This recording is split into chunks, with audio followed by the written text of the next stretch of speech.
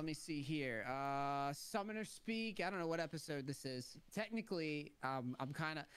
It started as a. It was like the boot camp thing. I was doing guest speakers, which I think I was gonna have you do one. I think. Did I message you about that or no? Uh, I think you did, and then like plans changed. Yeah, I think things just didn't didn't work out. It was funny. I was looking at our Discord messages. It's in 2017. You said, "I don't know why this dude wanted to talk, wanted me to talk YouTube when you seem like the man to go to." What what was that? Dude, that was like that was? this weird. I'm gonna be real with you, dude. You know what? I'm just gonna come out and say it. I don't care. Is this live? Uh, it's not live, but it is recorded. All right, I don't care. I'm pretty sure we all got scammed. We were part of some like weird YouTube like syndicate that like this like guy was like basically saying he was going to sponsor us and give us all kinds of stuff to like give away to our fans every single week. No, of course nobody ever received anything. Uh, and, and, that yeah, it was like me, you, and like five other people, and like, dude, it was almost like a cult. He like got us on like a call every week to like check up on our progress and stuff. And uh, when was this? I don't remember this. I, I guess it was in 2017, whenever that message was. But Weird. yeah, yeah. it pretty quickly died off when we realized that there was no actual like free giveaway stuff because he was like promising to give us like gaming chairs and like keyboards and all. Uh, yeah. Yeah, I've I've seen so many zany characters over the years in this space where yeah, I believe you. I just don't remember it. So um, anyways, first before we get started, uh. I first, Ioki, my man, um, congrats, because I, I you know, we've been in the scene for a while, uh, and I, I've seen I've seen that things have been going pretty well for you. I would I would imagine uh, you were recently uh, a part of I believe it was a Twitch Rivals event. As you know, I, I stream on Facebook right now, but I do keep tabs on the Twitch scene a little bit.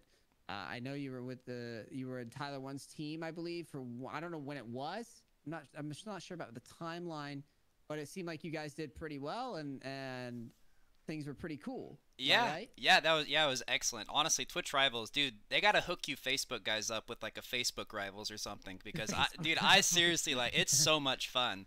So uh, yeah, yeah, I've actually competed in four of them over the last year. Um, mm-hmm. And it's kind of one of those things that like once you're in, like people see what you can do. So it's like once you're in, you're in, right? You're gonna get drafted like pretty much every single time. Uh, mm. So now, I, I, guess that doesn't apply to everyone. That's how it's worked out for me. Once I was in it, it's like I've competed in everyone since. Uh, but cool. yeah, I got drafted by Tyler this last one. That was really fun. I think we got third place. I've never I've never finished like worse than third place, which is uh pretty cool. And then this actually this last one I was chosen to be a captain, so I got to like you know have the whole captain experience, draft my own team. Uh, That's cool. Yeah, it was really really fun. Yeah, I've been I've been uh part of a contract with Facebook now for a while, and one of the things that uh, you know, I, I'm I'm kind of like, I don't know how I feel like and I don't know how much I should say. Like, I don't want to sound like super negative on Twitch uh, against Twitch because I'm I'm not. I, I think there's pros and cons to both actually. Like for one, like I get a lot of questions about like, oh, why aren't you streaming on Twitch right now? And it's like, well, I'm with Facebook right now, and that's you know that's great, and it's working out really well for me. But the other thing is, I'm sitting here, it's like I don't necessarily miss everything about Twitch. Now, I can't speak for your channel or your chat, but I always found that like when I'm on Facebook, it's a lot less toxic for me but I obviously am getting less viewers than I would be on Twitch. right. I mean? well, I, I, I, imagine it probably is like overall less toxic because of the whole. I'm not super familiar with Facebook, but don't you have to like sign up with your real name? Oh yeah. yeah.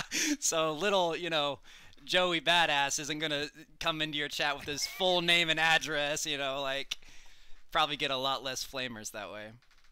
Yeah, I I've seen it. It's been. It, I feel like I don't have a need for mods quite as much, other than to deal with like like blatant stupid stuff. Yeah. But it's very very rare. And so I don't know, man. Like who knows what the future's gonna hold with me with these platforms? Like I'm I'm down for any platform at this point. Like I could go go any which way. And and I agree with you. I think Twitch does a really good job with the Twitch rival stuff. That's been one of the cooler initiatives that I've seen them do since I've uh switched over is that they started really amping those up around the same time that I left. Oh, okay. Um, Yeah. yeah, it was like they started doing them. It seemed like every other month or something. They, they like pretty much have, yeah. thing. Yeah, I think uh, I think I was in one in February, and then this last one was in April, and I'm sure the next one's gonna be like next month or something. But uh, yeah, honestly, I, I know you said they started them basically right after you left. Uh, they, the Twitch rivals like culture itself has also changed because at first it was Mm. just like a uh, you know, oh, let's get some content creators together, let's have some laughs.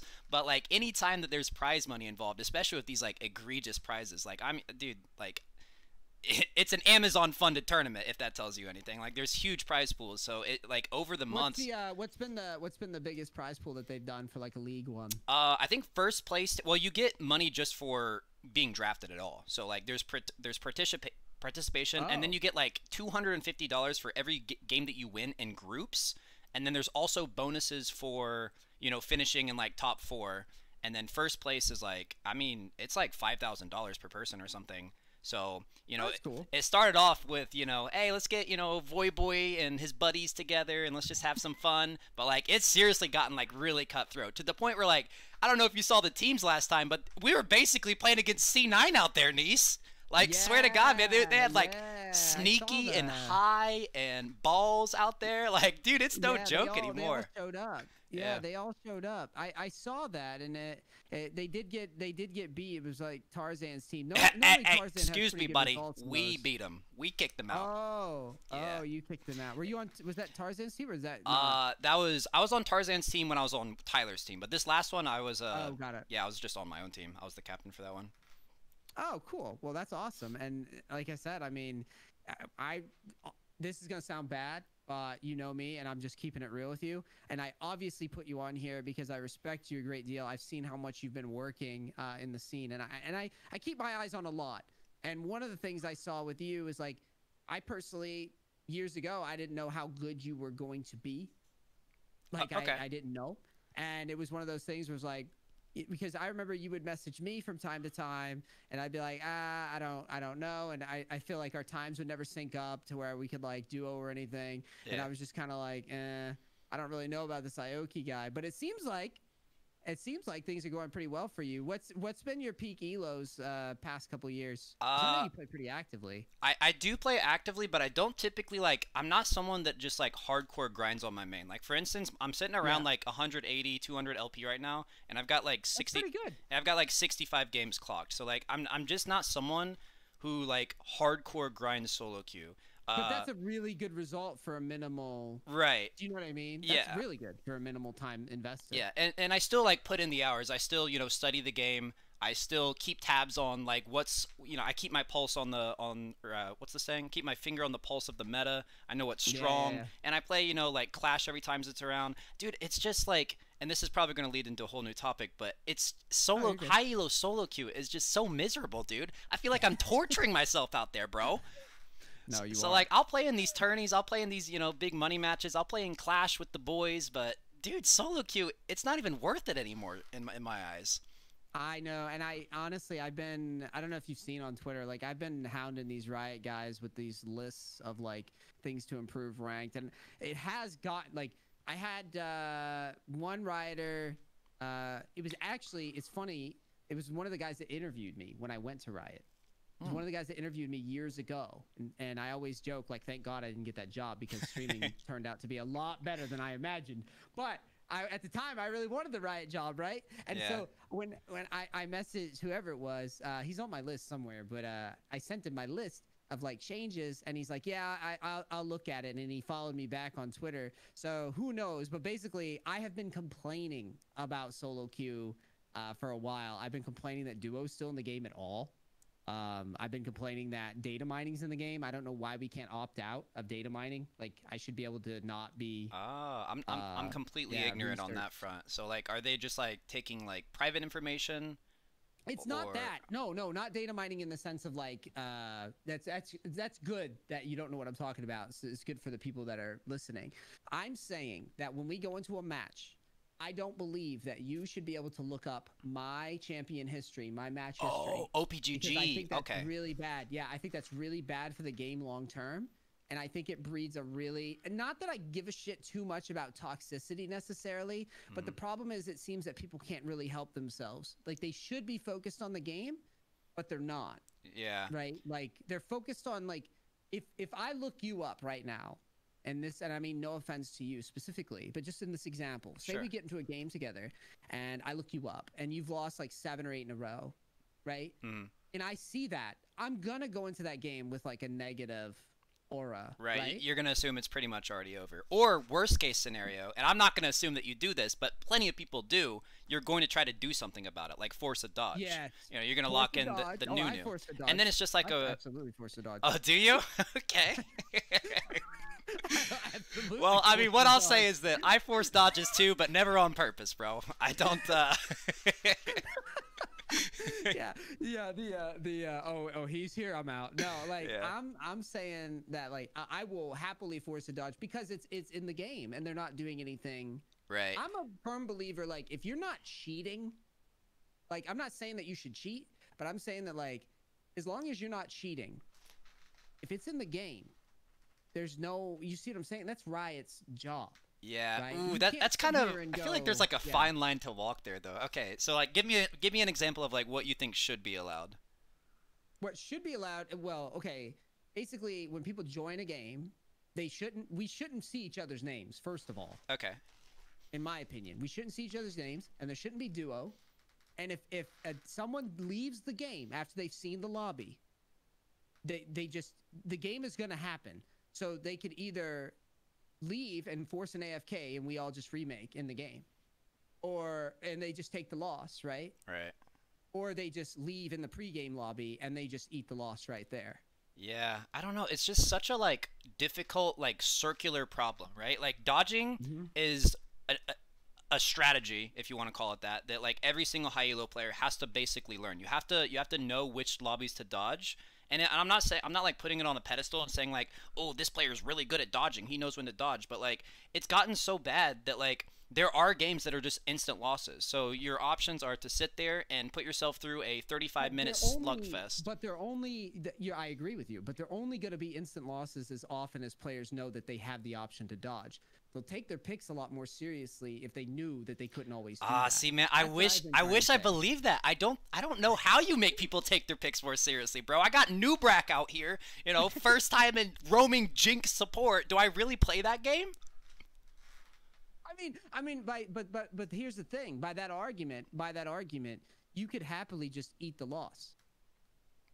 To, to what? Like teach Like, him if a lesson or really- something? if you really, if you really felt that like you were going to lose, then you could just save the time. You'd still have the option to save that time. Oh, so, so okay. I see If what you you're really saying. Believe that I don't believe like I've had this discussion with a lot of people. I agree with you that there are people that are miserable to play with, Mhm. but I don't believe that they're to the degree that the community likes to suggest. I'm not saying that they don't exist, and I'm not saying that for the first two to three months it wouldn't be miserable. Mhm. Right when everybody's going hee hee, uh, let's fuck people's day up, right? That, Right. That's gonna happen, but eventually it would stabilize. Now, there's another topic entirely, and I've talked about this with other guests, so I'm not gonna belabor the point. But like, the other issue is, I agree that the matchmaking system should probably just be better in general. Yeah. Um, like you know, if we report somebody for doing, like you said, the the uh, the forced dodges stuff. hmm The only reason that I would do it is because I know that they're they're not punishing it. Why wouldn't I do it? Yeah, and that, Like- that's the thing is that they're all connected. We've got cult, we've got like North American solo queue cultural issues, uh, compounding on top of like the inherent bad matchmaking, compounding on top of Mm. this like fact that everyone knows that like dodging is a thing. So like they, we have forced dodges, we have people hand picking, cherry picking their games, uh, you know, Mhm. increasing dodge queue timers and leading ultimately to players like us that play less, which also compounds all of those problems because the cha- then the player pool is smaller and dodge timers are long or uh, queue timers are longer and it's just all a mess, man. We need a reset. We, need, we need a real reset. I also said that on the list. Back to Um, basics, said- bro. Yeah, Nuke the I whole system. that- Start over. Yep. Yep. I said it, and people go, "Well, it's gonna ruin the ladder." It's like, dude, the ladder is ruined. Yeah. what do you mean? Yeah, for real. Everyone's dodging like they're playing poker. They're literally like, they're like, "I'm gonna fold. I'm gonna fold 30 games." Wait, that's such a good this match." comparison, actually. It's what it is. We're though. treating It's solo queue like poker. Yeah. They're like, I got dealt Nubrac, right? Well, let me look at my hand here. Oh my God, pocket Nubrac. I'm getting the fuck out of here, right? Yeah. Get me the hell out of here. I'm not playing with this shit. And Right. then you look down, oh, double Tarzan. I'm keeping this one. Right? Yeah. Like, I'm not Well, dude, honestly, man, I don't mean to trash talk a recent teammate of mine, but Tarzan is about like as problematic as dude. Tarzan's unhinged, man. I don't know if you've gotten into his game recently. The dude's taking uh champion requests, so his chat will pay him fifty dollars to Oh, God. play any champion in jungle. He's playing this stuff in thirteen hundred LP games, dude. oh no, my he's god. he's he's uh, he's always one of the characters. I'm gonna try to get him on uh, at some Oh, point. he'd be a to blast to have here. on. He's he's so Yeah, he- funny, like unintentionally funny, man. Like everyone hates Yeah. Tarzan, and I kind of hate him too. But I I, I got a soft spot for him, man. He's kind of funny. I think I think he's a victim of. I shouldn't use the term victim for Tarzan. People will be like, "You saying he's a victim?" I would say I would say I think he's a victim of. He's he's what happens when you go too hard in competition. yeah, Like he is basically he he has the potential to be so good Oh, in terms yeah. of. he is good, yeah. man. Like and like oh, he's incredible. I'm saying good also in the sense people- that like the community will let him play like pro. right, and people always like hold the worst parts against him, and like never really give him credit where credit is due. Like people always act surprised. Like for instance, I just played in a uh, a 10k money match and I drafted Tarzan, and everyone was like, "Oh my god, you intentionally put Tarzan on your team? Do you know what that's gonna do to your team morale?" And like surprise, surprise, like he was super chill. Like we had a great team, we had an excellent team environment. We were joking around with each other. We took practice seriously. Like he's not Yeah. some like in it, like monster. You know what I mean? Like just because you know the game gets the best of him sometimes. I think he's pretty monstrous if you bump into him in solo queue. Oh, oh yeah, time. solo queue. It's like, it, like, it's really hard to like everybody is. human. Yeah, like solo queue just dehumanizes us. Seriously, it really does, man. Like I've had like good friends that like I don't say a word to them. We get in solo queue and like you know I didn't get a correct roam timer off or something, and like he genuinely dislikes me from that point forward. It's like it's it's so it's so hard to like remember that there's human beings playing this game. I had one. I had one of those experiences. I feel really bad because I don't really mind Nidhogg that much. hmm But I swear to God, I, I was running into this guy. Like this was this must. I'm no- I have no I have no give a shit. Uh, N- Nidhogg's cool as far as I'm concerned. Just to be clear. But what I'm saying is like years ago, I remember I was playing high elo, and every time I bump into Nidhogg, would, he would do some variation of just misplaying in my lane. It happened like three times in a row. hmm Like he would show up in my lane. I'd be playing like GP or Tryndamere or some shit. He would show up. He would like do a dive, like a really cocky dive, botch it, right? And, and I'm sure he normally gets away with it. I'm sure it's normally fine.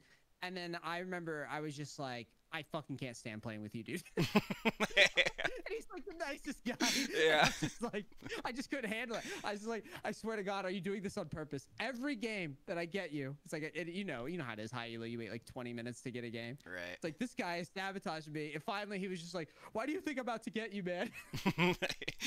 We're just like arguing, and it's like years later you just laugh about it because it's like it doesn't mean anything. Yeah, but in the but in the moment so it does, mad. man. Like you've invested your entire night playing this game, and from your perspective, someone else is you know ruining it for you. It's so it's so hard, man. Yeah. I, I genuinely, it's dude, tough. I, I can't type anymore. Like I if I allow myself to type, it's just gonna be all negative stuff, or or like even worse, like faux positive stuff.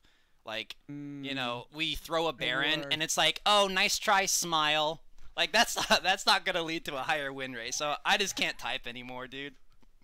Yeah, when I did the when I did the boot camp, I had everybody turn off their chat, myself included. and- Best piece of uh, advice any new player yeah, can follow. it- it was it was it was beneficial. I would say pretty much everybody was happy to do that that no chat fast. It was pinglish only, right? Only use the pings to Mhm. communicate everything. English. Um, yeah, it's really yeah. That's the boot camp term for it. I I uh, I really like that term because it, there's so many, and you know this, um, and you've been playing with people that are really good for a while, so you know what I'm about to say. It's when people ping, uh, their intent, just any idea that they have, right?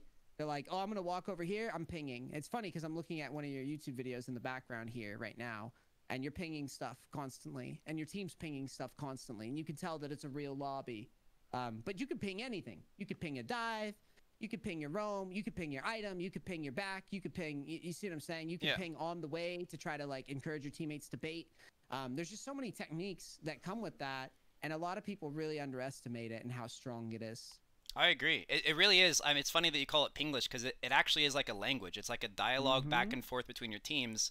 And just like with any language, there are people that are going to abuse it and bend it for, you know, the, the, the classic Mia ping. And sometimes, bro, all it takes is one Mia ping. Play goes wrong, and one person, even if it's a joke or something, even if it's a sarcastic Yeah. Mia ping, that one person that drops a ping. My favorite thing used to do, uh, like if I'm just like playing with friends or something, I always just Yeah. use the blue ping so then nobody knows who's pinging. But like it, the the intent is very clear. Like the jungler misses smite and a single blue ping drops on the jungler's head. It's just like and then the jungler like loses their mind trying to figure out who it was.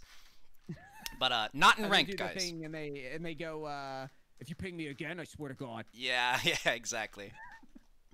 Ping me one more time. I It's wonder like, what "Oh, dude, you're such a percentage- sad." I, I wonder what percentage of people that threaten that. It's like, oh, mm, one more Mia ping, I'm gonna leave the game. I actually wonder what percentage of people leave because I feel like they never do.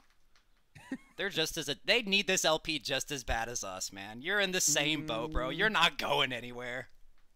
You ain't better than us, dude. Yeah. You're gonna stay in here and take my my yeah, my Yeah, pings if I'm gonna send exactly. ten at you. yeah, I would say I would say that's one of the things that generally speaking, a lot of players, I myself included, I can't help myself. I can't. I, I struggle so hard with just as a I mean, look at my look what I do for a living. Like Hmm. I'm coaching now all the time, right? So I get to just I get to just lord my, you know, almost 10 years of playing this game over people and like have that that moment of like explaining stuff and and feeling smart when I'm not smart at like anything else, right? Right. It's like I, I get to have that that thing when I go and if I'm playing on like a low elo account and I see some Timmy just like saying some nonsense about his teammates, I just uh, it, it's like it's like I, I I desperately just want to yell at like every single person when they when I know that they're wrong. Yeah. You know what I mean? yeah, yeah. I mean, it's, Like, it's what this game so does to us, man. It's so tough to just be like, yo, you. It's like there's so many times I'm, I see a guy in like low elo and he's like noob jungler, and you just want to be like, dude, you are so terrible Yeah. yourself. Like you have no idea how bad. Like you can't even comprehend it. Like you're so dumb, you don't even know you're dumb. It's the Dunning Kruger, bro. It's classic. I've never heard like uh I mean, I'm I'm sure you're familiar with the Dunning Kruger, right?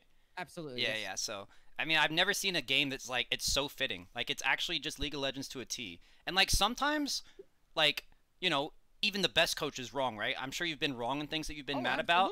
But like this game just doesn't allow us to see it from that perspective because. I, I don't know. There's just so many factors to it. You just never see it from other. And like you got five different players playing five different games. You know, playing five different strategies, and it's just hard. It's Mhm. just so hard. Like the team that wins in League of Legends is just typically, especially in solo queue, the team that can get on the same page. Like I, yeah, that's why the Pinglish stuff is is is the one that I I find, and you can chime in on this in bot lane. If you were playing, if you were playing bot lane right now, and you played solo, and you had to climb from support, what would you play? uh, and I'm gonna go back to that Pinglish talk here in a second too with this. so I mean, mm, am, I trying to enjoy myself or am I trying to climb as quickly and as efficiently max as LP, possible? max LP from support. Okay, I'd probably locking like a couple champs. I'd probably play three. like lethal Senna, possibly Brand, uh, and then once I hit like platinum platinum three, I'd probably switch to hard engage supports, like Leona, Nautilus, Blitz. interesting. Yeah, I find Brand to be miserable, but maybe you know something that I don't. he's not great Why like, you like currently in the meta, but he's just like you. You basically just get to be like a budget mid laner. Like the most obvious way. There's many ways to carry a game. Uh, Absolutely. the most obvious and straightforward is just damage. So Okay. you know, if, if if my job and and I've made many many you know unranked to diamond, I've I've climbed using only tanks or whatever. The most straightforward way is always going to be damage. So if I'm purely trying to maximize LP, I'd probably go like brand, play play brand or like Zilean even maybe or Senna through my placements, and then swap to what I specialize in, which is you know macro roaming hard engage supports. Mm, yeah, the ones that have historically worked the best for me on support have normally been the poke champs. Uh, that have like those give me like you said I like that term budget mid laner. I Mm. think that's fair because I play Xerath a lot in like really low elos. Like if I if I'm doing like real low elos, you just go. I, I feel like I just go Xerath Yeah. and then I'll just get like you know 15 kills, and I'll be doing this wag thing where I swing my mouse around while I ult. Like it doesn't really matter, you know what I mean. Right. I'm gonna I'm gonna have so much damage, it doesn't make a difference. But I do find in Smurf Q, it doesn't feel like those champs work. like if, if I play if I go support and I try to play like a Xerath or something, like it might go okay. But in a real game, like you said, platinum or higher, it feels like the the team with like the like the helicopter, the bard, or the because what did you say? You said Nautilus Leona. Yeah, Um, Ju- uh, just off the top of my head, be Re- Rell would actually probably be better now that I think about it. I think Rell's a bit stronger Mm. than Nautilus, but yeah, that kind of stuff. Uh, you know, people, it's hard. It's hard because as a support streamer, I get people in my chat every single day saying like, "Oh, how do you climb a support?" And it's just like such a like bad cookie cutter question. Like it's just Mhm. fundamentals. The same way you climb in every single role. Fundamentals, right? Like you do the correct thing over and over and over. You practice it. When it goes wrong, you understand and teach yourself why it went wrong. But like people don't want that. Hmm. People think that there's like some secret champion that like a, all the other support streamers that they probably asked this stupid ass question to like didn't tell them. So like honestly, dude, I've gotten so frustrated to the point where like I seriously get that question like five times a day, and it's just become like a meme within my community because now I'm just saying full AP Quinn. So, Yeah. so, they say, so how do, how do you climb I'm- support? I'm kind of that guy though.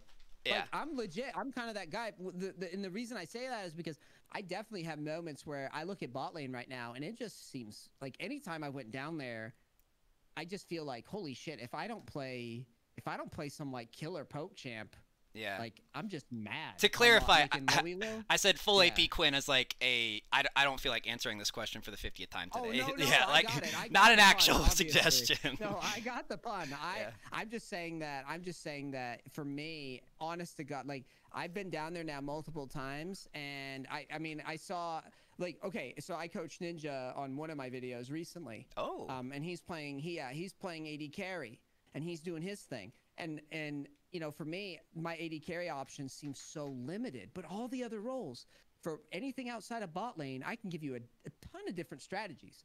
Like I could I could go right off the uh, right off the rip. I could be like top lane. I, I could pull up my banjo and say, well, you play Gangplank, play Tryndamere, play Fiora, play this shit, play this shit, play Shen, play Nasus, play this, right? Right. But if I go down to bot lane, I'm just like, well, for AD carry, you can play maybe Tristana yeah. uh, to get a good win rate. Maybe Ezreal and just hide under your tower while your team ends. oh, Like, dude, I hate Ezreal players, man. I hope no one followed your advice on that one. I I hope that you have not weird. spawned another Ezreal player into the world. it's weird though because uh, I I know it's not home. My Ezreal's pretty good, but what I'm saying is it, it's he's good in a in a solo queue environment because he never because you're a support main. You actually know how to play support, right? And this goes both ways. You're gonna get the Ezreals that suck dick, and then you're gonna get the Leonas that slob knob too. Yep. That yep. like don't go in. yeah. I, And so what yeah. happens is, yeah, you're like, well, if I play Ezreal, this has always been my argument because my highest win rate climbs on bot lane solo have been Ezreal every time. That's if I tried anything else other than other than yeah. I, I swear to God, I did it on a stream last year. I played the diamond with like 70% win rate Ezreal, and I was bad in the beginning because I didn't know what I was doing. Mhm. I was like really bad. Like I was not winning, and I wasn't winning in like silver and gold in the beginning. And then I started figuring out what my playstyle was, and what it wound up being was just like, don't die. I feel like Mhm. recommending people to play Ezreal is like recommending people when I get that question, how do you climb a support? That would be like me recommending people to play Yuumi. Like yes, it is it's it is a safe champion and you're always going to be like useful, I guess in some sense, but like your Mhm. agency is like I don't know. I don't know, it's rough. It, it, it, I, I found it. I found it's actually I- it's better than you would think. But again, it's like you said. It's like I recommend it, but it's like don't try this at home. yeah. It's the same thing. Like I play, you know, I play shit like Gangplank before. I played shit like Jace. I've obviously played dumb shit, easy stuff like like Maokai Jungle. Mm. It's like the first season I ever made Challenger was I was playing Maokai Jungle. This is like season seven or six or whatever it was. I was playing Maokai Jungle as a backup, right? When I was put in jungle and it was working. And it was just like, uh, yeah, I'll play brain dead stuff if it makes sense, Right. right? But Ezreal was just always safe. But you're right. You're right. It's not. It's not something that you fist pump lock. And the majority of the players that play Ezreal, they don't understand that it's like he's got to stack his passive Qs and he's got to actually push into people. And then it was like when I was coaching Ninja on the and on the YouTube video, it was like I was explaining to him like, yeah, we played like a bitch for 15 minutes. Now you've got to actually loosen up once you get your items. Like you've got to really start pumping on people instead of just chilling. Yeah. Right. And that's just all that stuff is kind of outside of a lot of people's play, pay grades. Otherwise, I just say Tristana. But my point of this whole rant And not to take over so much airtime, my point of this whole rant was just like, I don't know good support champs. Like, and that's I think that's where that question comes from. Is I just don't feel like I can get high win rates on support very easily anymore, and I don't have a big list. Yeah, it's a it's a it's a weird role, honestly. Like honestly, like the meta right now is actually favoring my style of playstyle, like pretty heavily heavy roams. Mm. You know, mm. play for jungle, secure those crabs, be the first one to rotate, and like have high agency by being like the first one to pull the trigger. Uh, but mm. very, very soon, I'm pretty sure that Riot is like forcing an enchanter meta. So it'll be interesting to see like players like me and Alicopter if that takes a toll on us, right? Because like I'm pretty mm. sure Riot's like trying hard to push like Lulu and Moonstone and Shurelya's like to the forefront of the bot lane meta, where your impact isn't as obvious. Um, you know, when I when I'm asked for AD carry, like, oh, who's your favorite AD carry to support? I like playing with Tristana's because the impact is very obvious, it's very immediate. Um, you don't mm. really need like an enchanter. You just kind of go. You just kind of go and you make the plays, which that's always been like my strength as a player is I see people when they're out of position and I'm good at like capitalizing on it. But uh, mm. it's harder to do that when you're playing Lulu, right? like you can ping that someone's out of position, but you're gonna have to rely on other people to do stuff for you. And I think that that's a big part of League of Legends is you want to minimize how much you want to rely on other people. Uh, and that sounds kind of weird coming from a support player that plays Leona that doesn't really do that much damage. Um, mm. Well, I guess it's debatable whether people think she does a lot of damage, but yeah, she's not going to do as much damage as an Aurelia or a Tristana or a Brand or whatever. Um, but uh, yeah, I kind of forgot where I was going with that. No, no, this was good, and I want to I want to go back to what you were saying about how you uh, communicate your intent with like the pinging stuff that we were talking about earlier. Mm-hmm. This was a, this was why I say I was going to go back to this because I think it's really important. Um, one of the things that I found with bot lane, and I was telling you the story about how I was like struggling initially to climb with Ezreal. Like I have good mechanics, but I wasn't figuring out the flow. Like I have a flow on most of my champs. If I'm, you know, if I'm playing GP top, I know that I just have to chill till you know, Triforce spike in level 13 and then I can loosen up. And so I like to play those those farming styles. But the thing was, no matter what I was doing, I just wasn't making it work in bot lane until I started pinging my supports to do things. Oh, that was actually yeah, the yeah. thing that turned the tide. And I and and it started clicking. It's like, yeah, they just don't know because they don't they actually don't have a play in mind. And you manually, you are responsible for even though you're the AD carry, you're responsible for pinging to your teammates, and it's worse in bot lane than any other role. Pinglish yeah. is actually the most important skill I think that like separates. If like you used Alicopter as an example, and I'm and I'm watching you ping people right now. Alicopter's one of the kings of doing that shit. Yep. He'll ping the shit out of you, and that's good because you know it's like I'm coming, and you just see like ten pings. Like a motherfucker, I guess I gotta go. Yeah. Yeah, no, I, yeah. I mean, that's a really, really important skill because it just goes back to what I said earlier, dude. Like, it's the team that's on the same page, especially in solo queue. Mm, yeah, you're right. It's just yeah, five, dude. Five people, even if it's the wrong play, bro. Five people doing the wrong thing is going to turn out way better than like one or two people doing the quote unquote right thing, as long as like yeah. you're all on the same page with it. If That's you go when strong, I go, you're gonna win. Yeah, ape strong, bro. Ape strong together. ape strong. Yeah, I've seen some plays that have just been head scratchers, but everybody committed to it. Yeah. It's like it's like every every so often, and you know this play. Every so often in high elo, you'll get that random level one dive under the tower. Yep, yep.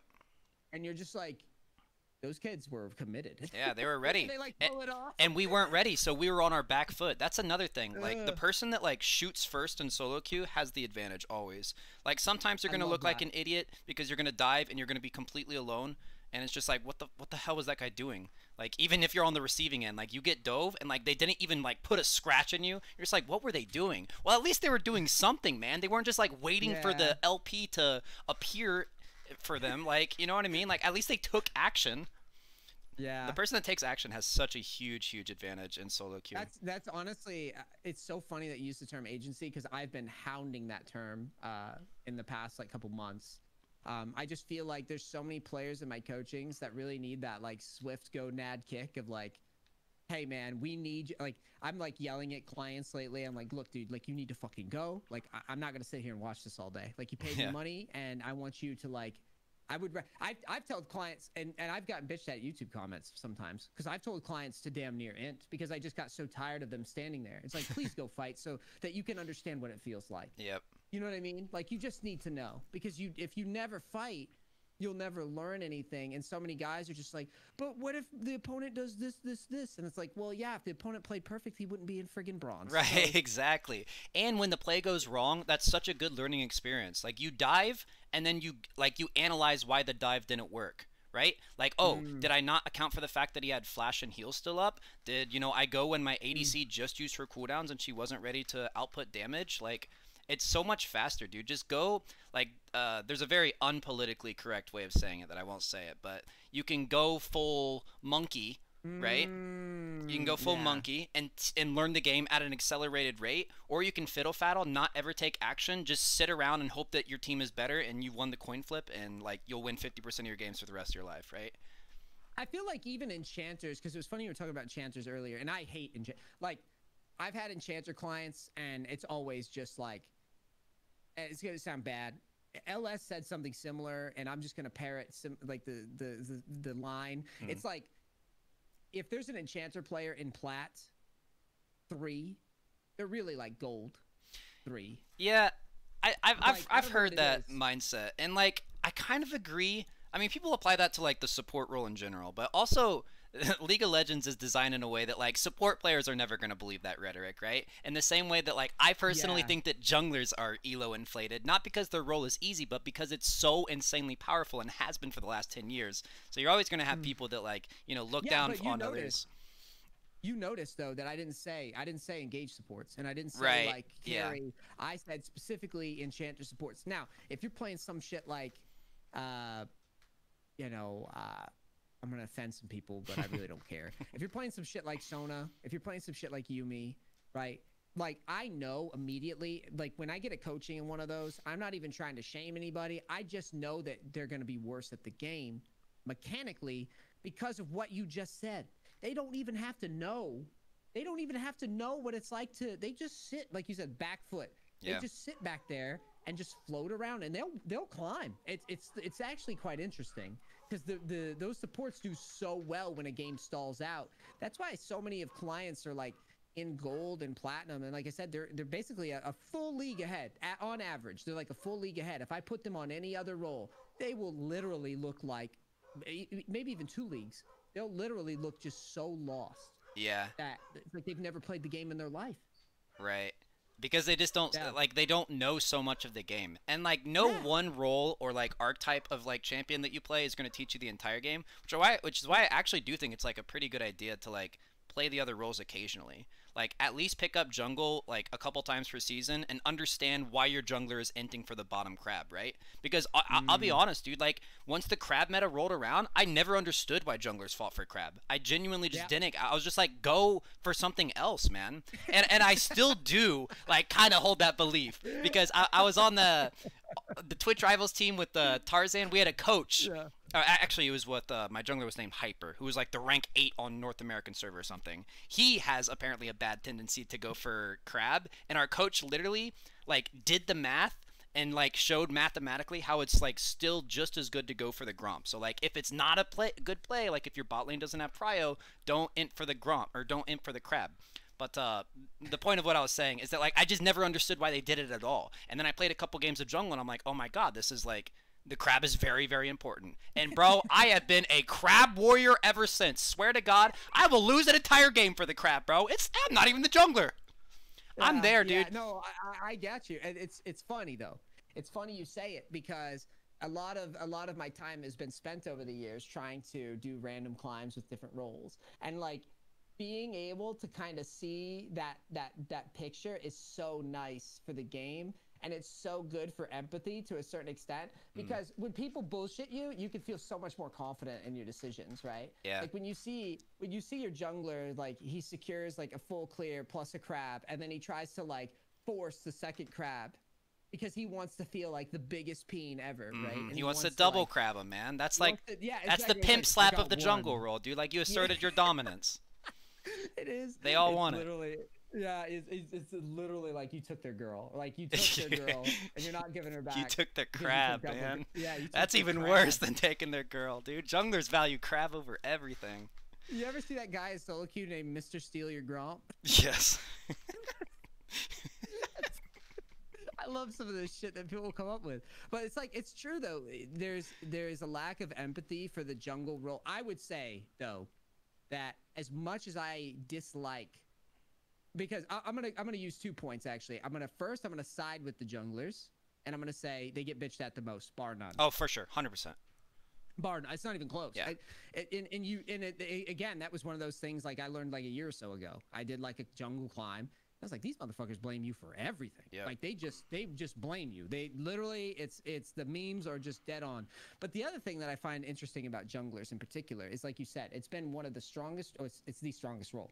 It's been the strongest role and the most. Uh, when we talk about agency, the only argument might be sometime sometimes this year you had stuff that was like roaming supports that that eke out in high elo the jungler, right? Right. But ultimately, it's pretty much been Jungle Town for for years and years. And the best ex- explanation that I've come up with is it's like these junglers, a lot of them had eh, eh, when they solved the jungle before anybody else. Right, you'll have these. Uh, I'm not even going to say any names. You have like these OG junglers that have solved the jungle before anybody else for years and years and years. So imagine, imagine just like finding a champion that gets you an 80% win rate when solved one of those champion like when when you get to high elo so like one of those examples would be tf blade back when jax had uh whatever the hell that uh, atrocious item combo was with the stupid stun on like a two oh a yeah, Shojin. Blade of Shojin or So- something. So TF Blade's an amazing laner, right? He's incredible laner. Yeah. So I'm not trying to diminish his accomplishments. All I'm saying is that his accomplishments were certainly enabled by this bullshit that he had for sure. access to. And Yeah. that's what people talk about Elo inflated. Well, Jungle has been that way for a long time.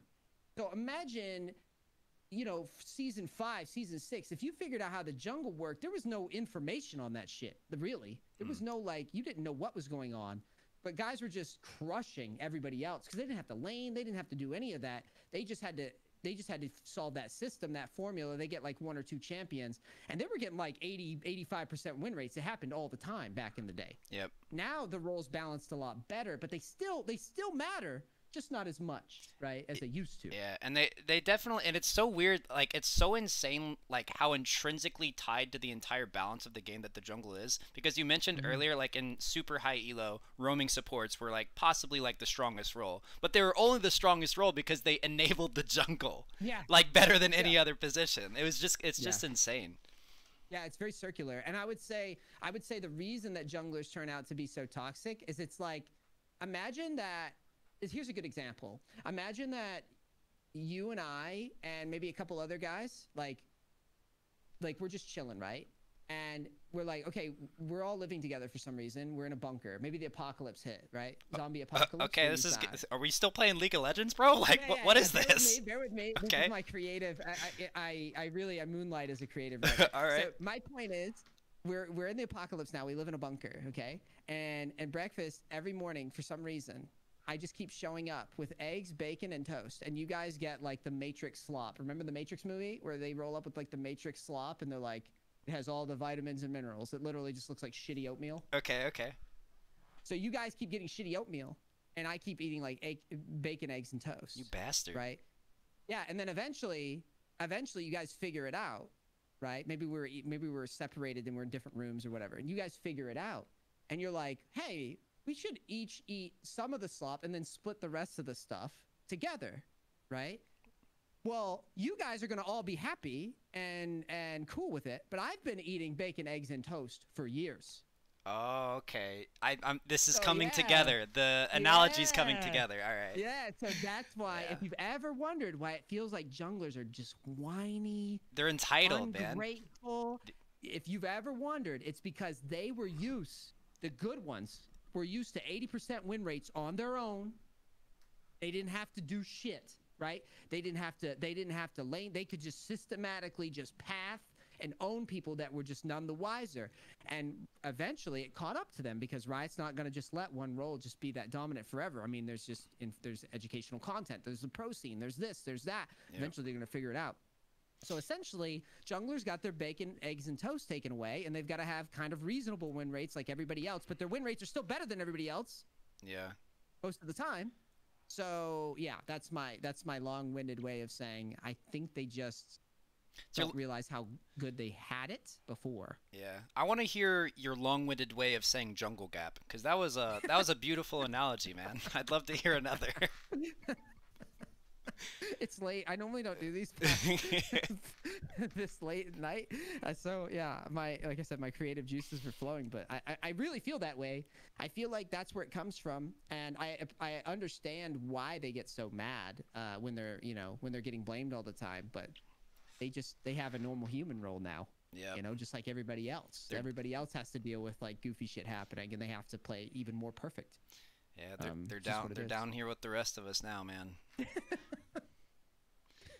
Yeah, I've never heard like I I, I very rarely have seen like mid diffs and and ADC diffs. Oh, support ga- support diffs. gap's pretty. Um, well, actually, it's we're usually lumped together as bot diff, even though there's like so much more going on behind the scenes. Because, like I said, if the jungler loses the crab, even though like I am literally unable to rotate, I'm under my turret. I may not even be level two yet, bro. It's a bot diff if Yeah. they didn't get the crab. Like, there's just so much going on in the game, which is why what we were talking about earlier. You gotta you gotta play these other roles. If if you can't like, if you can't understand from their perspective without playing the role, then you just have to play the role because you'll you'll be you'll improve at your own role so much like so much and mm-hmm. so rapidly if you just understand like what the other roles are going through and why they are making the common mistakes they are making from your perspective. Like it's just crazy. Like there's an infinite amount to learn in this game. Like Yeah, there's one. There's one. Um, just to flip it to the other side of the map, the the one thing you have to learn in high elo top lane to kind of cross that threshold from like I would say diamond, you know, mid diamond to like high elo that I found over the years is learning when to give up a tower before you get dove. Bot laners have to learn this too, but I feel like top laners have to learn it even worse because they don't even have the fucking vision half the time. right. They don't even know. So they need have to they need to see it coming like a little bit of an they in, to- advance. yeah, they need to like know they. That's why I always give top laners the credit for being like it's probably the hardest role in the game, um, in terms of like playing through it in high elo because you're facing like fighting game gods up there, and then Mhm. you're also getting like terrible dives that are like god tier dives, like Elise, Elise Renekton. Like you just have to like you have to know to just walk away from shit, and Right. that's like a really tough thing. Mid though had to learn that. Mid mid never has to learn that. Mid might get dove rarely from like a really gross like chickens, you know, Yeah. Elise cocoon flash thing sometimes, but like top is the one where it's like, yeah, they could just they could just run you over. Like you face you face Tryndamere with Ghost Ignite and there's a, a Jarvan behind him or a Volibear behind him. It's like you just lose. Yeah, and I think something that doesn't get talked about a lot, the difference between like diving top lane and diving mid lane, is that diving mid lane is so so much like less common because it's so much harder. Look how close the turrets are in mid lane. Like if you dive just a little bit too far, you're literally tanking two turrets. Like the distance Yeah. between the uh, the turrets and top lane is just like it, you don't have to be as coordinated. And like you said, you got to have so much foresight with the type of champions that are played up there. You're probably Yeah. not going to see it coming. The other one is those two entrances of mid.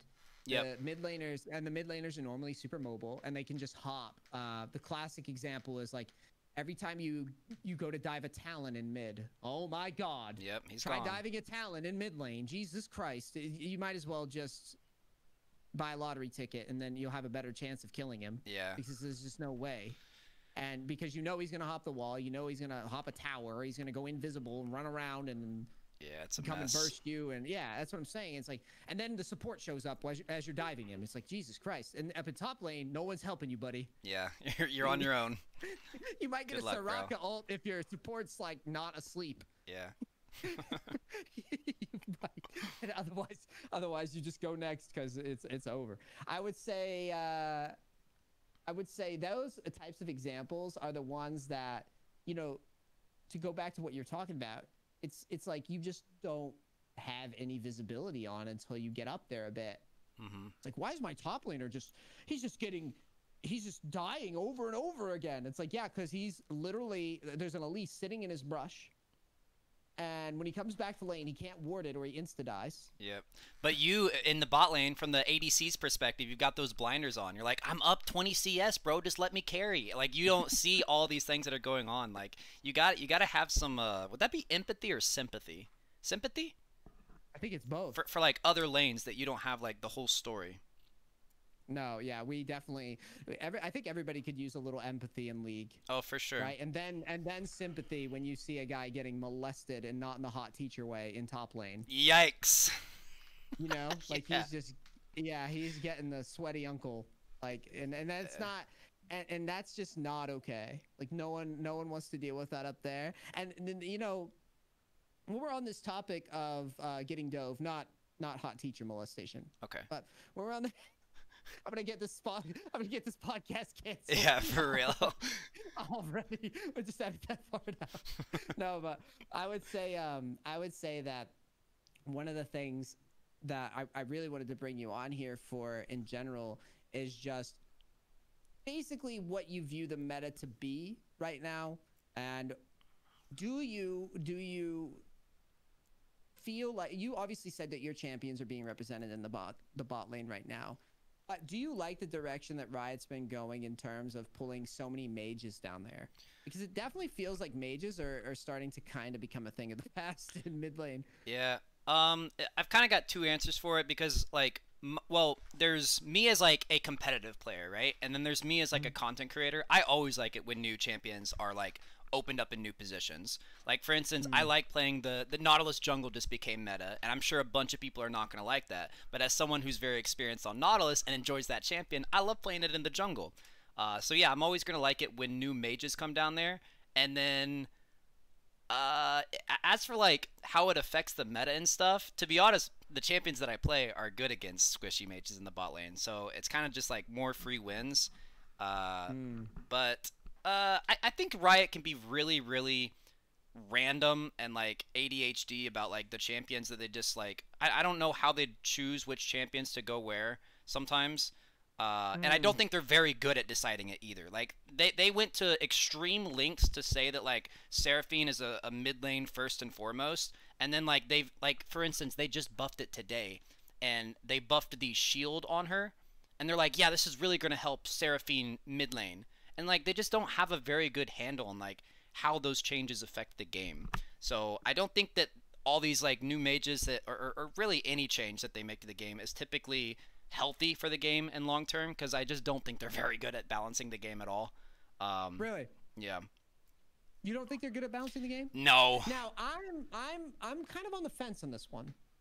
Um, I don't know if I think they're incredible at balancing the game, but I don't.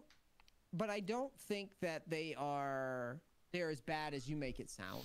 But Yeah. Why? I want to hear why though, because obviously Well, it's a podcast. I, We I will I will cut them a little bit of slack. League of Legends is probably the hardest game I can think of to balance. Uh, not just in terms of like objectivity, but like it's League of Legends. It's always going to be a very emotionally charged game. No one wants to see their champion nerfed. Like I I know that I'm prone to biases because everyone's prone to biases. Leona just got nerfed today.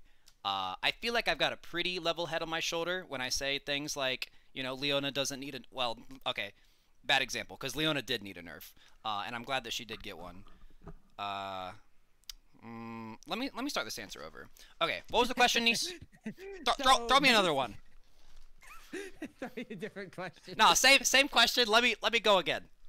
No, this would be Round no, two. I think it. I, I think it's fair though what you're what you're getting at though because you're saying like you had a bias. Yes. And you're like a little sad that that Leona got nerfed. Yeah, and so- like, so well, maybe- basically they- maybe, she did deserve a nerf. Yeah. Basically what you're getting at. What I'm saying is they have to base they have to balance the game in terms of like objectivity and also in a way that doesn't piss everybody off to the point where they stop playing the game, right? So no one ever wants to see their main champion nerfed, uh, but and it's really hard to detach yourself from those biases because you have the whole picture of what it's actually like to play Leona. Everyone says Leona's broken. I actually know like I, I know the counterplay for Leona like the back back of my hand, right? If I'm against a Leona, she does not look very broken. Uh, but the majority of people think, you know, they just see this unstoppable CC monster that terrorizes their games because they don't know. They haven't played 30,000 games of Leona like I have, right? So no one ever wants their champion nerfed because they have the whole story behind it. and they know the you know counterplay and stuff like that. So you know, it is a hard juggling act that Riot has where they have to balance the game in a place where it's like, you know, esport ready and mm. also to keep it fresh and interesting, you know, keep new players coming in and old players returning to see, oh, my new champ, my favorite champion got a buff, let's check it out. Uh, stuff like that. So I, I do give Riot a lot of slack. I give them a wide berth in terms of like how hard of a job they have to balance this game. But in terms of like the actual the quality of the balancing, now I think almost every single change they make is either too late, too little, too big, you know, misguided, uh, short-sighted. It, it, the list mm. just goes on and on and on. Honestly, I I'm intrigued by that. I could see it. I could see it that way. I'm more and I'm less annoyed with how they balance the actual game right now. I'm pretty happy with where the game's at, and I'm generally not too annoyed with stuff that I'm seeing. I think, if anything, I think I'm just more pissed off with how solo queue looks. Personally, I could really give a shit about that. I don't think the balance is that bad, mainly because like, what's an egregious case? Like, give me an egregious case. I think it's pretty hard to give me like really egregious cases right now. Sure. Give me some. I, I, give me some I, egregious balanced cases. Okay, I can give you two examples, and they're kind of different sides of the same coin. Uh, okay. Viego existing as a champion is, I just think, the most hilariously unbalanceable wreck of a champion. And okay, I, I, am very, very vocal about it. And I, am very harsh about it because I'm actually friends with the designer of the champion, Riot August. Every single time I get a chance, I tell him, "You messed up, bro. You messed up." Every like this champion mm. is a mm. this champion's a monstrosity, buddy. Uh, okay. But so. But why? okay, he can just do too much. I think that they're going for the cool factor, the cool one-shot factor over the actual health of the game. And I understand that like that's kind of how the game has has been for years and years now. And League of Legends is at the state where like it's been out for 10 years. You have to outdo your last champion, right? I understand that. But I, really think it's been detrimentally affecting the actual balance and fun factor of the game because we've been focusing on making champions that are fun to play as and never and never fun to play against. And that that balance, it, that's once again, it's a hard balance to strike because typically people derive fun from doing well and killing things, and the person on the other end of that is getting killed and probably not having fun.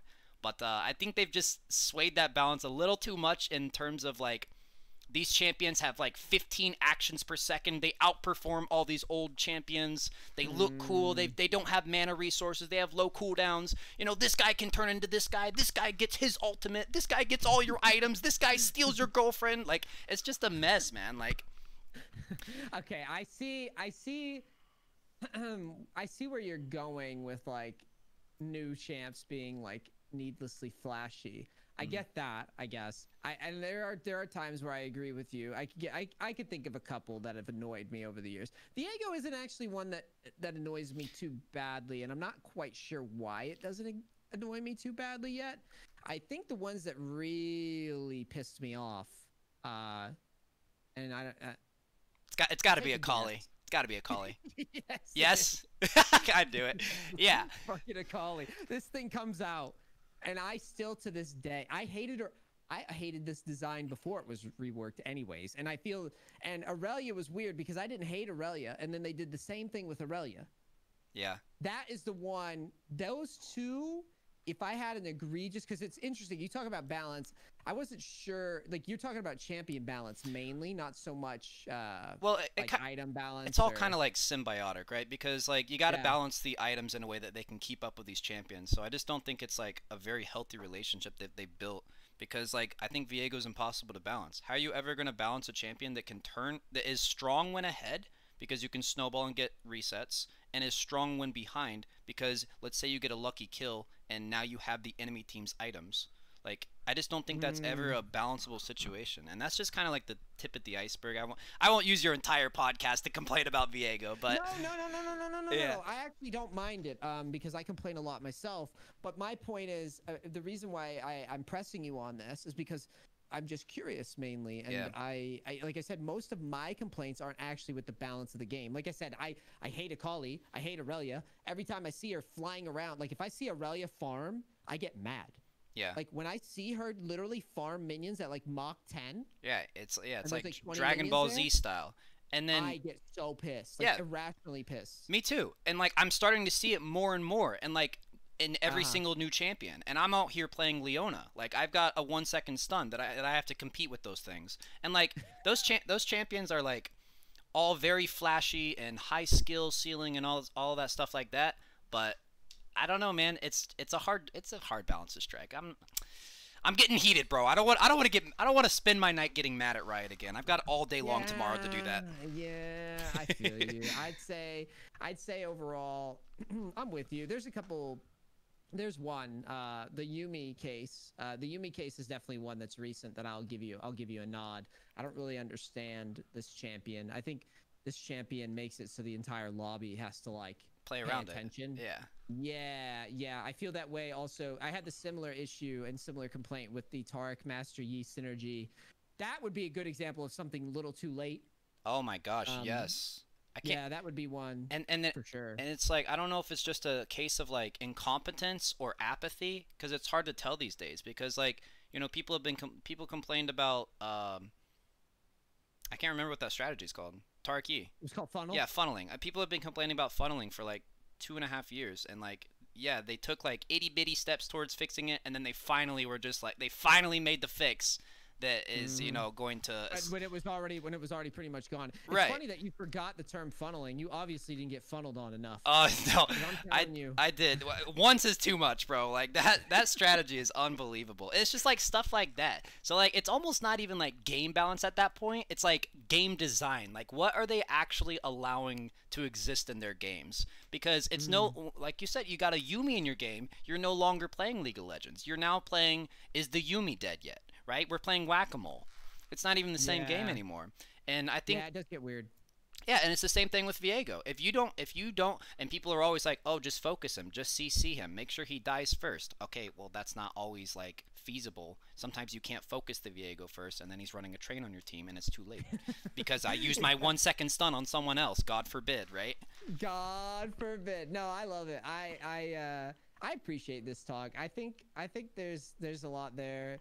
I if I had to if if I give my opinion, I actually think personally that my biggest biggest whines come from a lack of a real competitive solo queue. Yeah, And that data mining stuff, I think, is to me is way more important to the longevity of the game. I think this is, and I, I use a lot of poker analogies on my stuff because I just I really feel like League is so close to poker. It's unbelievable. Like it's unbelievable. Really? We all get really emotional. Yes, we all get really emotional and feel like the world's out to get us. If you play poker for like for like a couple months straight online, you would understand. Like you just you you tie your self worth to whether or not you're winning. yep, For a lot of people, they do that, and poker is damaging, right? Except with poker, you you don't lose just LP, you lose money. Right. if so it's start- even worse.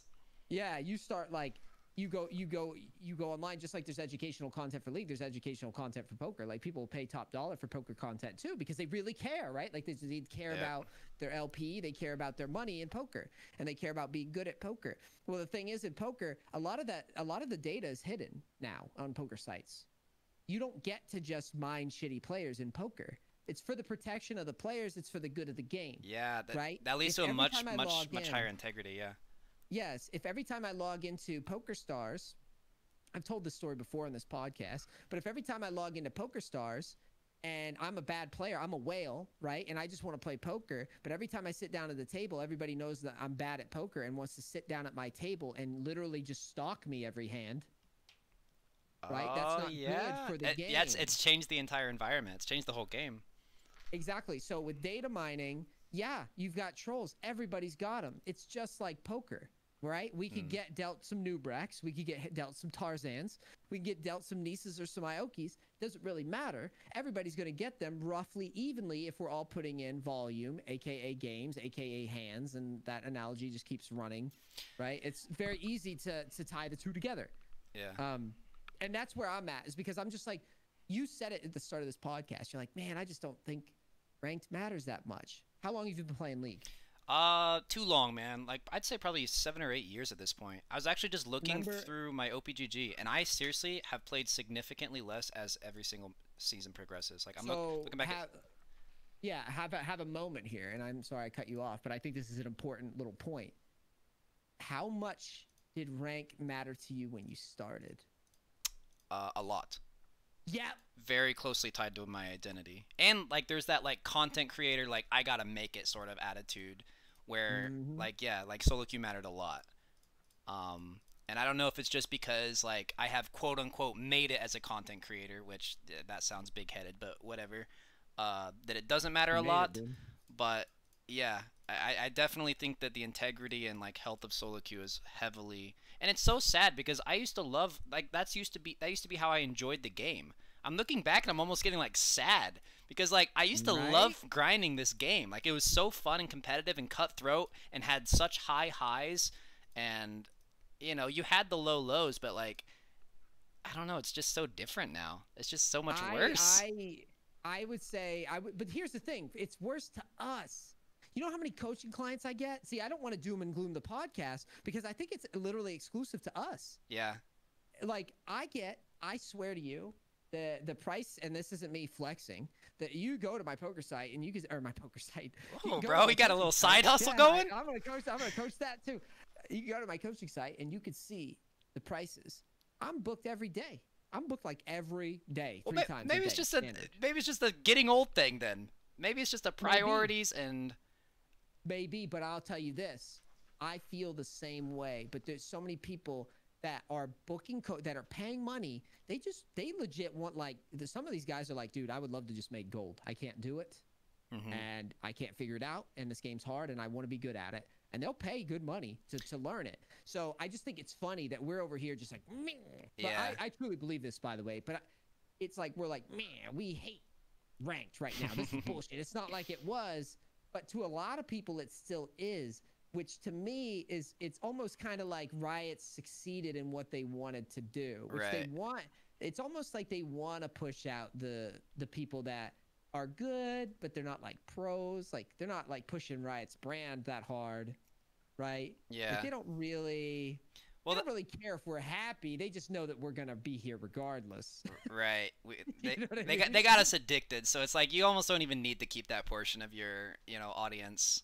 happy. and like- that's what it is. Yeah. yeah. Well, it makes me happy to hear that. Well, not not only that you're having success as a coach, but that like people are still passionate about it. it it's still like something worth driving towards for a lot of people because I I still mm. I still remember like to this day the day that I hit gold, which was like my first massive goal as a league player, and it was just like it was just like so euphoric, like, and I, I'm glad that people are still getting that and like working towards it and seeing solo queue as something worth playing.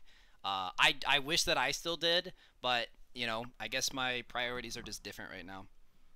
Yeah, I, I, I want it to matter more. I Mm-hmm. think I think it starts with I think it starts with like you said a nuke. Yep. A, a ranked nuke. There's got to be a point. I also I don't know. I feel I feel like that Smurf Q shit was just a monumental. Uh, it's just that's another example. They just want to keep the they want to keep the studs away from the Jerrys. The studs. Yeah, the Is studs, that, is, is that like a studs off of farming term or something? I feel like I've heard that. Like the studs, you know, like when it's that guy, it's the Chads, right? They Oh, the okay. Chads away from the I, thought that was like a horse mating metaphor you made. Like, like are Nah. I don't know, Oh, dude. Are the God, are the female no. horses called Jerry's or something? I don't know, dude.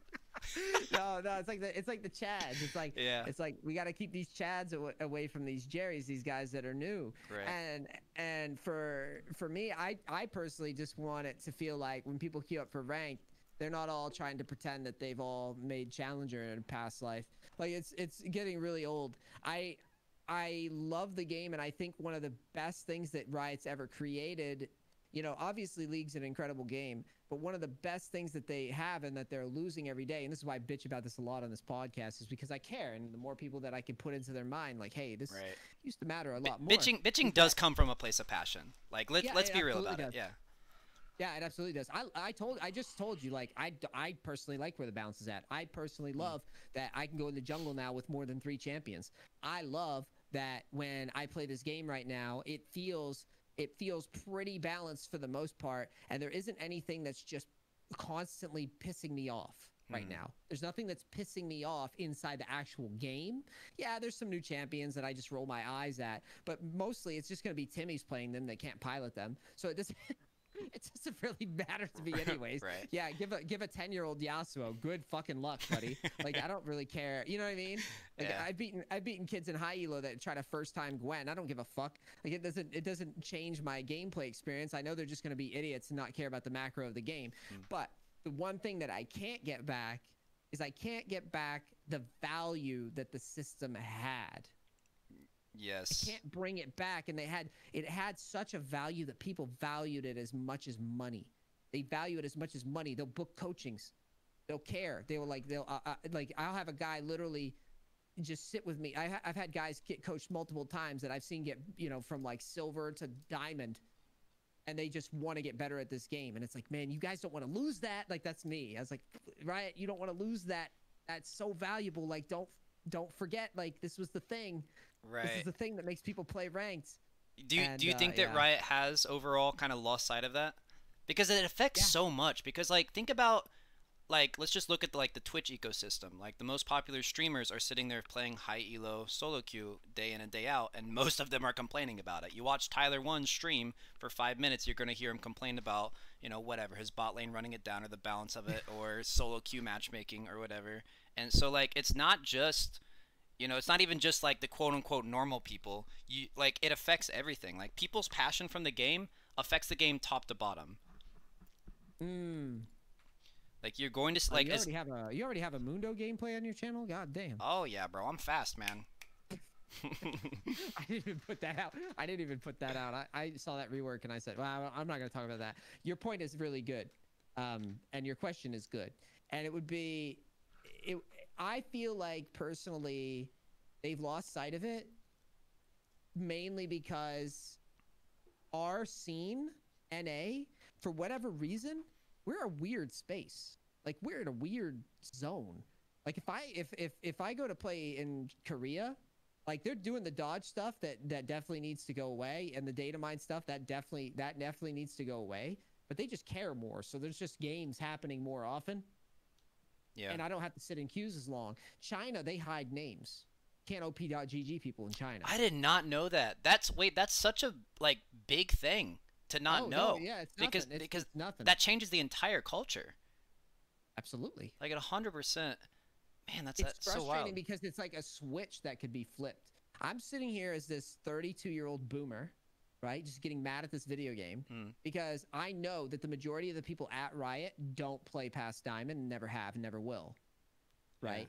And I know because I've played so many games over the years competitively, I know that this fixes this game. I my little list fixes the game. I know it. Hmm. It, it just does. Like they, you know, there's just there'd be less trolls. There'd be more people. Like yeah, people but might get mad that they might have to play uh, off roll because they can't dodge anymore, right? Boo Hmm. fucking who? because of what you just said, people should learn other roles. Yep. It's League of Legends, not League of Mundo support or whatever the hell I'm looking at. whoa, whoa, whoa, bro! Don't be hating on my Mundo support, all right? Hey, eh, try- but that's the thing is like you can't queue. Like these people expect to literally get their role, right? Right. Like think about it. It's like one of the first things you got to learn, like growing up, right? It's like, uh, you don't always you get know, what you, you- want, sort of thing. yeah, it's like you get a soccer ball and you and and you're playing with it for like ten minutes, and then you have to learn that you have to share the soccer ball with fucking Ralph, and Ralph sucks, but like you have to share the soccer ball. That's just what we have to do. And and in, in this game, for some reason, we just don't we just don't have to do that. We can just be like, I would like bot lane Mundo support, please, right? And it's like everybody has to give you that. That's how people act. that they- Right. That they, are entitled to that. But it's like you don't even know how the game works. Why do why do you want this role so bad? If you only play this role, you suck. You just said it. Yeah. Like, I don't know. I've been ranting at you tonight on this podcast. no, it's been fun. It's been fun, man. Thanks for having me on. Yeah, this has been uh this has been a hell of a a hell of a chat. Is there anything that you wanted me to plug before we shut this down? I think it's probably good it's a good stopping point, I think. yeah, yeah. I think I've uh, complained myself uh, into a stupor. I'm ready for a beer. I don't know about you. Are you East Coast or West Coast? East Coast, Indiana. You're East Coast? Yeah. Yeah, so it's it's getting it's getting late for you too. Yeah. Yep. over here like back in my day, League of Legends ranked mattered. Back in my day, there was no Akali. Solo queue used to mean something back in my day. yeah. Uh, as for plug, nah, I stream. Um, well, I stream every single day at twitch.tv slash i0ki. And also, I, um, I've got two YouTube channels that I'm running. And Cool. if, if you're interested in the stuff like um like Mundo support, as Neace has lovingly pointed out, like kind of just weird stuff. I really like pushing like the boundaries of like what support is. And you know, people get really mad at me and say like, oh, you should just play meta. Why aren't you just playing Leona? But uh, that's not really how I enjoy the game anymore, right? I don't want to play 2,000 games of Leona in a season. I want to play Mundo support, bro. Uh, so if you like that kind of stuff and like seeing, you know, the the trouble that that kind those kind of picks get into, uh, I think you'd really enjoy my stream. Um, Neace, actually, I'm gonna be posting this on my channel if you don't mind. So if you if you want to do a plug, I know that's kind of weird to ask you to do a plug on your own podcast, but I think this is really yeah, cool. I um I I mean shit, I you know me, dude. He's out I'm- there, I'm- guys. He yeah, he I'm- is work. He's got seven different angles. All right. Apparently, he's got some poker coaching coming up. So I got I got poker coaching, I got I got I got ninja coaching, I got uh Facebook thing, I got two channels, I got the uh, man, I don't know. I'm just doing a bunch of stuff. I'm just honestly at this point, I'm just still happy to be able to play a game that I love. It's know? it does seem. I I've I did a little bit of research. I watched like a, a video and a half or something. It does actually seem like you're in a pretty good spot. Like you're really enjoying what you're doing, and I think it's Yeah, a pretty once, unique once the coaching angle. was thanks man once the coaching uh I, I actually thank my wife i know people say that shit all the time where it's like i love my wife but most people's wives suck my wife my wife's pretty cool because she was the one that was like uh you know you should make a coaching site or whatever and uh i i kind of argued with her at first i was like you don't know nothing about, about what i do i don't need any coaching site because i was taking i was taking um coaching orders on like on uh stream Mhm. and I was like, I could juggle these on my own. And then um, I made the, the site, and I immediately just started getting booked like every day, Yeah. uh, like just constantly. Like I had week, I I would open up my weekends, and initially the prices were a little lower, and it was like my whole weekend, like my whole two weeks would be booked. Like I wouldn't have time off. I would have to schedule free time, and I still have to schedule free time. So um, yeah, I mean, coaching's taken off. It's been awesome. Got another boot camp in the works. We'll get you in that one. All right, man. Hit me up. Yeah, It'd we'll be- get you in be that one. We'll, we'll come up with something. Yeah, we'll come up with something for support. Uh, um, but I'll talk to you more about that on offline. But thank you so much for coming on. Yeah, no problem, man. Um, Thanks again for having me. It was fun.